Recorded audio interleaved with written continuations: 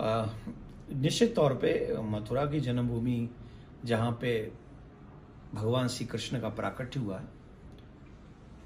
अब ये राजनीतिक विषय नहीं है, मैं तो इतना मानता हूँ कि हमारे महाराज जी ने भी राम जन्मभूमि के लिए बड़ा कठोर परिश्रम किया। उसके बाद ये आज वो दिन देखने को मिला कि वहाँ राम मंदिर बन रहा है। वैसे ही हम सबकी भावना है अभी मैं प्रयागराज में था लगभग पंद्रह बीस दिन पहले तो मैंने वहाँ प्रयागराज में ये बात कही थी।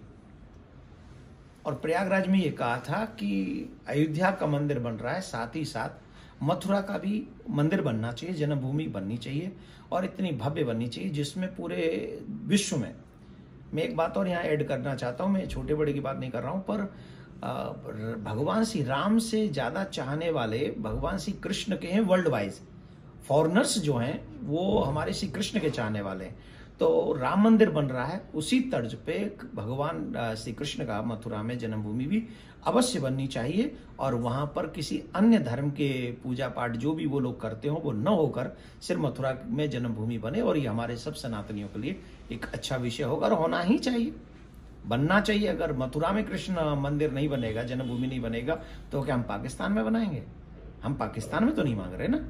हम तो मथुरा में मांग रहे हैं तो मथुरा में कृष्ण मंदिर बनना चाहिए काशी में भोलेनाथ का मंदिर बनना चाहिए राम मंदिर तो बन ही रहा है यही मेरा मत पूज्य महाराज श्री मैं पूरी तरह से राष्ट्रीय संत विश्व प्रसिद्ध कथावाचक ठाकुर श्री देवकी नंदन जी के विचारों से सहमत हूँ। मुझे याद है कि लगभग 40-45 साल से हम लोग एक नारे के साथ आंदोलन में कूदे थे। वो नारा था राम कृष्ण विश्वनाथ, तीनों लेंगे एक साथ। साथ ही नारा हम लगाते, तीन नहीं तो तीन हज़ार। लेकिन धीरे धीरे मोदी युग में सारे विवाद समाप्त होते चले जा रहे हैं। अभी हमारे प्रदेश के उप मुख्यमंत्री श्री केशव प्रसाद मौर्य जी ने श्री कृष्ण जन्मभूमि को लेके एक बयान दे दिया कि अब मथुरा में भी मंदिर बनना चाहिए तो कुछ विपक्षी लोग उसके राजनीतिक नेतार्थ निकालने लगे। मैं स्पष्ट करना चाहूँगा राजनीति को दूर रखते हुए, राम, कृष्ण और विश्वनाथ। भगवान राम, भगवान कृष्ण और भगवान बाबा विश्वनाथ, ये भारतीय संस्कृति के प्रतीक हैं। इनमें से एक को भी हम माइनस करते हैं तो हमारे हिंदुत्व, हमारी राष्ट्रीयता अधूरी रह जाती है। तो ऐसे में हिंदू बड़ा भाई है तो मुस्लिम छोटा भाई है।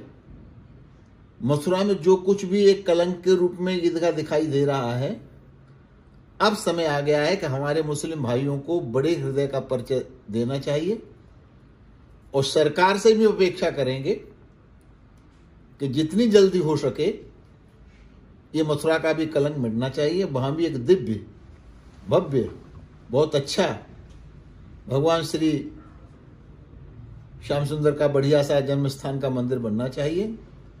और मैं ठाकुर जी के इस मत से भी अपने को सहमत पाता हूँ कि सारे हिंदुस्तान में नहीं, सारे विश्व में जितने डिवोटी भगवान कृष्ण के हैं पूरा अमेरिका हरे कृष्ण, हरे राम, हरे कृष्ण हरे कृष्ण हरे कृष्ण चिल्ला रहा है। इतने डिवोटी तो प्रभु श्री राम के नहीं हैं। इसलिए मथुरा का उद्धार होना, वहाँ पर एक भव्य मंदिर का निर्माण होना, राष्ट्र हित में बहुत ही आवश्यक है। और मुझे लगता है मुझे विश्वास है कि अब स्थितियाँ ऐसी बन गई हैं कि सौहार्दपूर्ण वातावरण में, आने वाले समय में मथुरा में भी भव्य निर्माण, भव्य मंदिर का निर्माण हो ही जाएगा।